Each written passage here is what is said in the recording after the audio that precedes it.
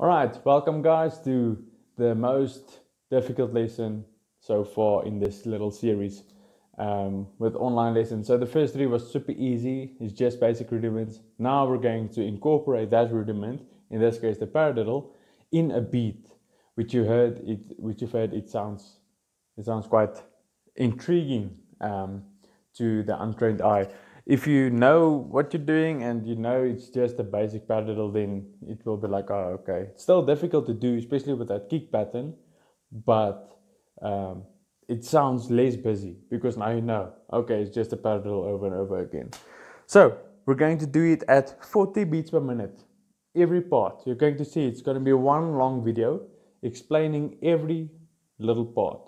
So you listen to the part, I play each part four times, you listen, and then it's going to be here, I'm going to write some notes as well, or not notes, just right, left, right, right, with the dot where the foot should be, so that you can see uh, it's a long pattern. So you don't have to continue and learn everything with this one minute video, however long it is.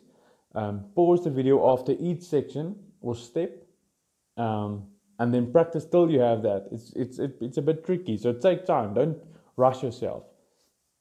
Um, yeah. So learn that, and then when you have that part, watch the video further, learn that part, and glue them together. It's actually written that way that everything is already glued together. It's just one super long beat coming into one. So enjoy it. Let me just make sure I have everything. Yeah. And then at the end of the video, it's going to be that fast little piece again on how it should sound. But remember, keep it at 40 beats per minute or even slower and then build it up, build it up, build it up um, until you can play it fluently. That's a pretty intriguing beat, especially for the guys that can play already. Um, I challenge you with it, and then if you can do it, send me a video. I would love to see it. Um, even if you're at step two and you're proud of it, send, send a video and I'll I'll a, a thumbs up or something. So practice hard. It's a short lesson, but a difficult one. See you soon.